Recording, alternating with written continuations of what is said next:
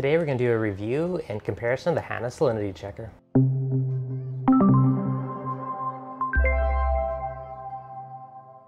What's going on guys? Devin from Reef Dudes. So today we're doing a bit of an unboxing. I've had a ton of people ask me to do a review, a comparison on the Hanna Salinity Checker. Um, now it took me a while to get one because I honestly already had to, but enough people asked at Reef Reefapalooza, I picked one up and we're gonna finally do a bit of a comparison. Uh, now to kind of set a level playing field, I did a 30 ppt solution, a 35 and RODI water. Um, I recalibrated the Hanna with 35 and I calibrated the these two with 30. So I used the same pool of water and I verified that all with a good old fashioned refractometer. And this is also recently calibrated. So it gives us kind of a bit of a level playing field. But first, let's take a bit of a look at the Hanna and see how it works. So when we pull off the cap, um, it protects everything nicely. If we look at the side of it, we've got our temperature probe. And if we look down the middle, those are our two conductivity probes. Uh, now what makes the Hanna one a bit different is they use graphite. Uh, there's a few advantages to this is less likely to corrode or other issues. Um, if we look at the back, we've got our battery door. Now when you first turn it on, it does a bit of a battery test, so our battery's at 100%. Um, and now it's ready to use. Now to calibrate it, we would hold the calibration button for a few seconds. It would say cal, you put it into your calibration packet, wait a few seconds, and it auto detects it and calibrates itself. Super quick and easy calibration. So it does come with four calibration packs. It does recommend to do it monthly. Um, I did mine last week, so I'm not gonna bother doing it again today.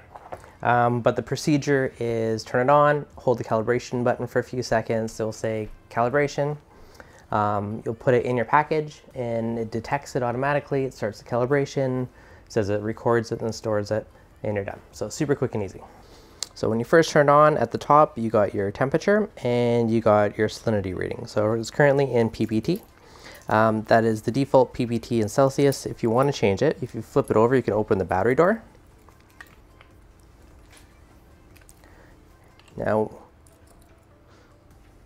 when you pop it out, you will notice that little rubber ring. So it does have an O-ring. This keeps it waterproof. So if you are messing around with it, just make sure that's clean, you don't have any dust or dirt on it.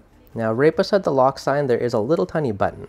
If we click that, we can hear the click and we can pick our different parameters. So unit PPT, uh, PSU, or specific gravity. Um, I've actually started to use PPT lately, so I'm just gonna leave that one there. Uh, if we hit the power button, we'll go to the next menu.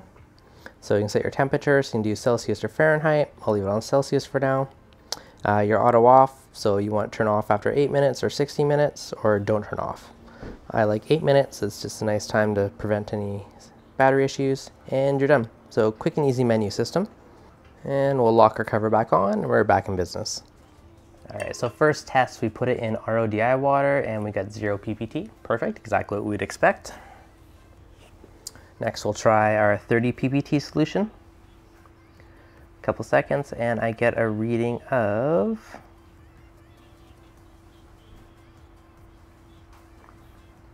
so we're at 29.8 29.9 and it settled on 30.1 so 30.1 is our salinity. Oh 30.2 so within 0.1 0.2 give it a quick rinse in our ODI so we don't cross contaminate and we'll put in our 35 ppt solution Give it a couple seconds to stabilize.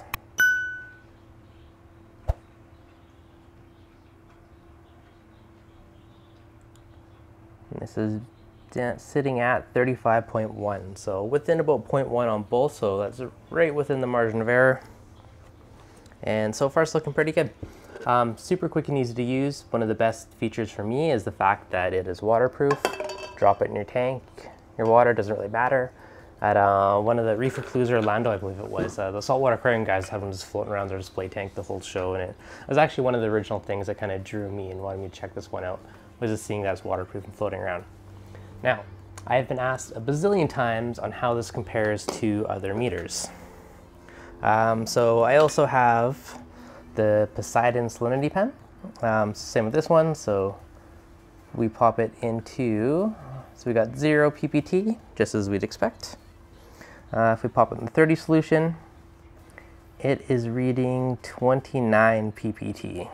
Um, so one difference I just noticed off the bat This is showing 29 ppt. I think that one was 30.1. You get an extra digit of resolution, so you get that point whatever afterwards. So it is a slightly more precise in the reading, where this one likely rounds. So this one settled on 35, 36 is bouncing back and forth between 35 and 36. So it is going to use some form of a rounding on it, on the Poseidon.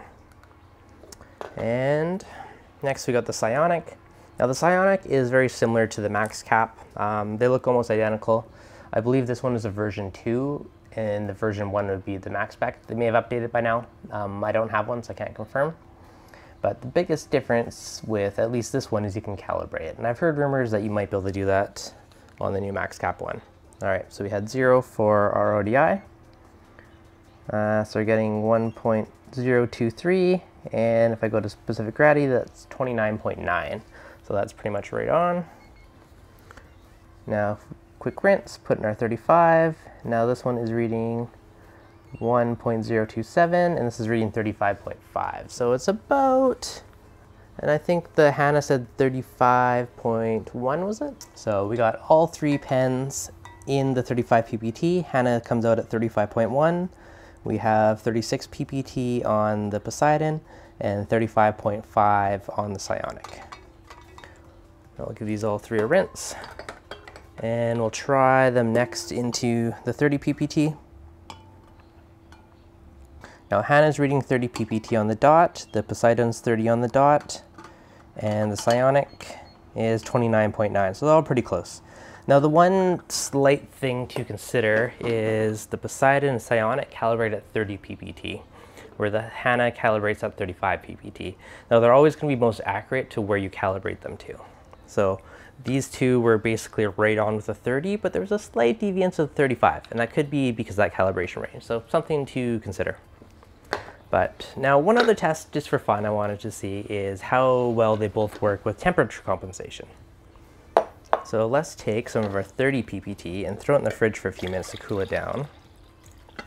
And then we'll see how they kind of compare. So while it's in the fridge, uh, the one cool thing with the Poseidon is you can just kind of click through all your different menus to see all your different readings. You can do it all from the one screen. It has three buttons.